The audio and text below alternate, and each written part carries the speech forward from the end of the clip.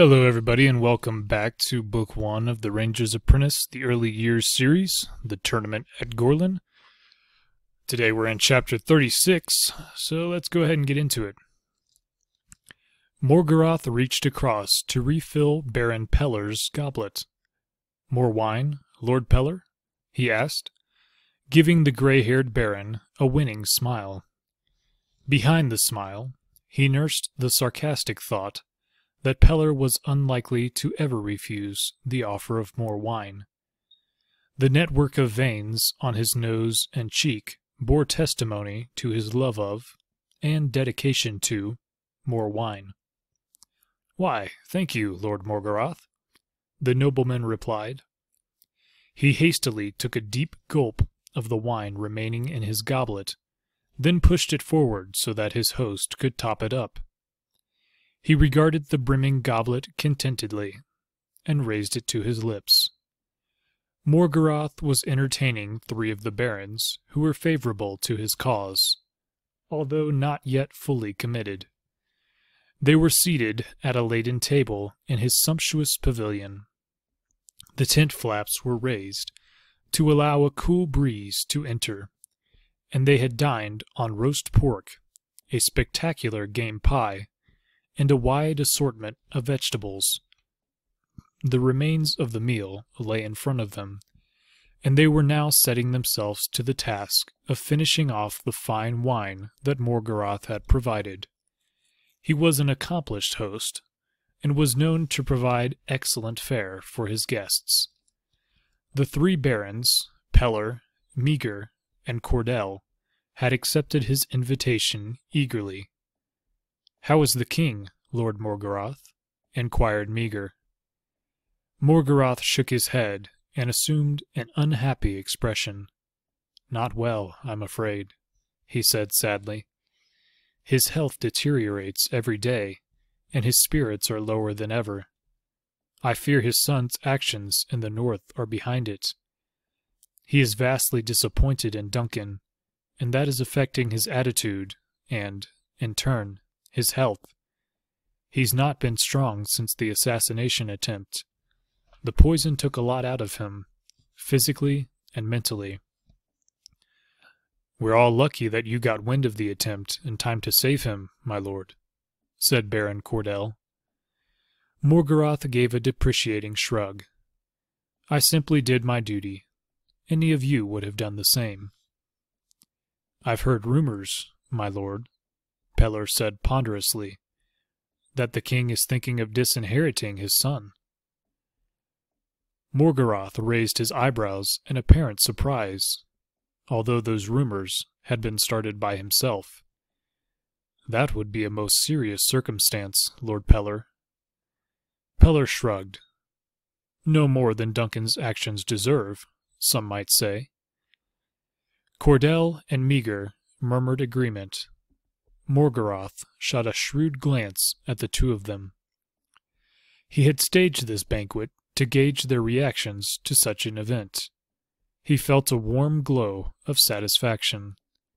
His three guests did not represent major fiefs in terms of manpower or troops, but they did wield considerable influence with many of the other barons, particularly those who were so far uncommitted to either side in the obvious struggle for power going on in the kingdom. But if the king were to take such a step, he would have to name a successor in Duncan's place, Morgarath said mildly. Again, Peller couched his reply in those ponderous tones that were his trademark, particularly when the wine level in his goblet had been lowered several times. I could think of no better candidate than yourself, my lord he said to Morgarath. But the Baron of Gorlan Fief waved the suggestion aside. Me? I have no business being king, nor any wish to become one. I'm content with my lot. I believe there are many among us who would disagree, Lord Morgarath, said Cordell. We would be happy to support your candidature for the position. After all, you are the foremost knight in the realm. Many of us look up to you. Again, Morgoth shook his head, smiling reluctantly at the idea. But inside, he felt a surge of triumph. Now that the matter was out in the open, raised by someone other than himself, and greeted with approval by these three, he could progress his plan to the next stage. He had doubts that King Oswald would publicly denounce Duncan as his heir. But if the matter were already being discussed as a fait accompli, he could use a written proclamation marked with the king's seal to bring the matter to a head. Such a proclamation would need to be ratified by the Council of Barons, but he sensed that he would be able to gather a majority there. Let's hope it doesn't come to that, my lords, he said easily. I'm sure that if we put our minds to it, we can resolve this problem with Duncan. The three men mumbled agreement, although they sounded less than convinced. Morgarath smiled to himself. The resolution of this problem might well to be to have Duncan killed, he thought. But before that, he would need Oswald to put Morgarath's name forward as his successor. He was about to speak when someone approached the entrance to the dining section. He glanced up and saw Teasel standing expectantly. What is it? he snapped, anger creeping into his voice. He had left explicit instructions that his banquet was not to be interrupted. My lord, I have news, Teasel said nervously. Morgoth frowned. Teasel wasn't unintelligent, but he was aware of Morgoth's instructions that the luncheon should not be interrupted. Therefore, what he had to say must be important. Still, the interruption gave Morgoth an opportunity to further ingratiate himself with his guests. It can wait, he said coldly. I am entertaining honored guests. He turned to smile at the three barons. Morgoth was a black-hearted killer, but he was capable of exuding enormous charm, just as a viper might lull its victims before striking. He saw the looks of gratification on their faces and turned back to Teasel. Wait outside, he said curtly. His lackey turned and stepped outside the pavilion.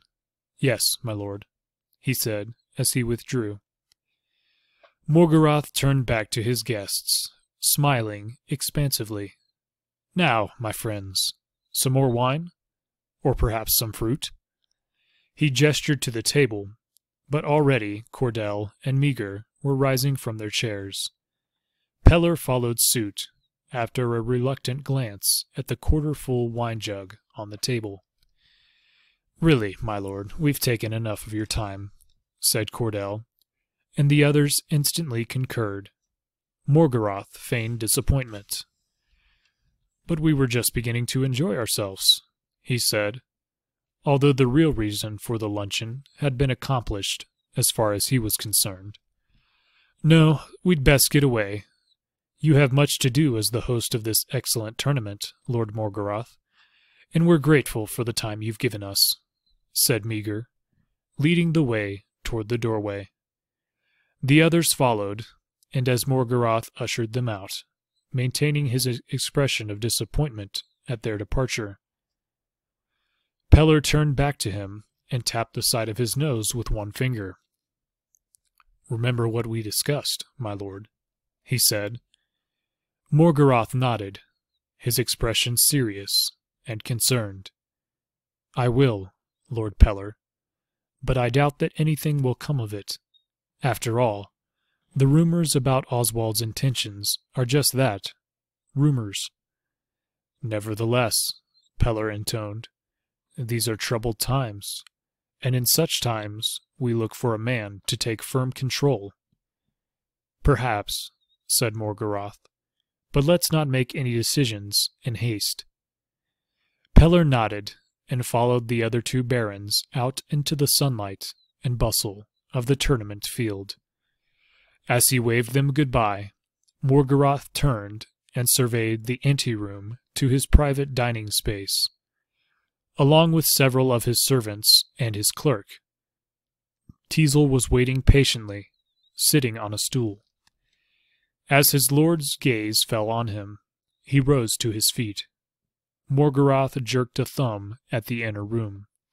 Inside, he said, and, as the servants moved to enter to clear the table, he stopped them. You wait here. They stepped back, and he followed Teasel into the inner room, once again taking his seat at the head of the table.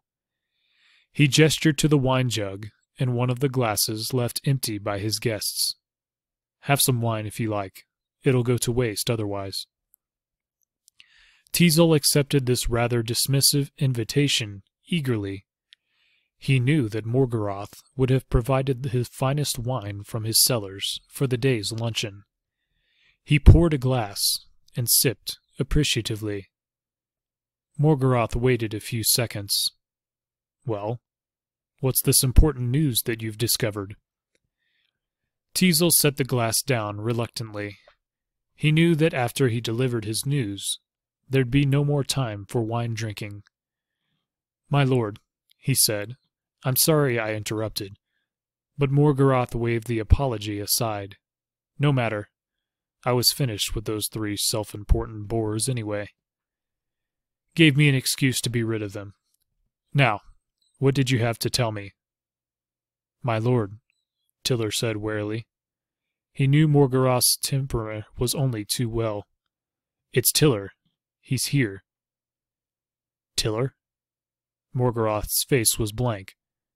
For a moment, the name meant nothing to him. Tiller, Teasel repeated, emphasizing the name. Then, seeing Morgarath's brows come together in anger, he elaborated. The false Duncan.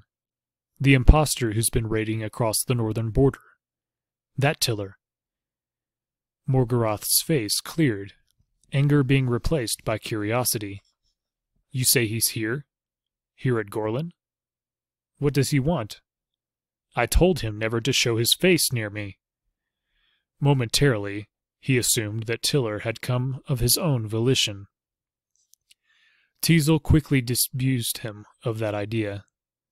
He's not here willingly, my lord. He's a prisoner. He's being held in Errold's compound. Errold? May the fates curse the man. Must he always interfere in my business? How does he come to have Tiller as a prisoner? Teasel shrugged. I have no idea, my lord. I was keeping an eye on Errold's compound, as you ordered, when I became aware that someone was being held prisoner in one of the smaller tents. I saw food being taken in, but whoever was being fed never came out. So I managed to get a look inside, and there he was, Tiller. He's chained up and can't move more than a few meters in any direction, but it's definitely him. Morgarath stroked his chin reflectively. Why would Errold have brought him here? he wondered. He could be planning to contest your plans for the throne, my lord, said Teasel. After all, they depend on Prince Duncan being discredited and disowned, and if Errold produced Tiller, and had him swear he was impersonating Duncan on your orders, that could complicate things. True, but how has Errold got wind of my plans? Morgarath was thinking aloud, rather than asking questions. But Teasel replied, nevertheless. The rumors are all over the tournament, my lord, that the king plans to disinherit Duncan. It wouldn't take much for Errold to guess that you were behind them, and were planning to replace him. True, said Morgarath thoughtfully. Very true. But how did Errold get a hold of him? I can make inquiries, my lord. I'm sure I... Teasel began, but Morgarath waved him to silence. Time enough to do that later. If we start asking around, Errold might get wind that we know Tiller is here. No. I have something more urgent for you to do with friend Tiller. What's that, my lord? Teasel asked. Morgarath turned to look at him. Not for the first time, Teasel was reminded of the eyes of a snake about to strike. Kill him, Morgarath said. And that will bring us to the end of chapter number 36. As always, thanks for joining me. Thank you for listening and I'll see you next time in Chapter 37. God bless, and have a good one.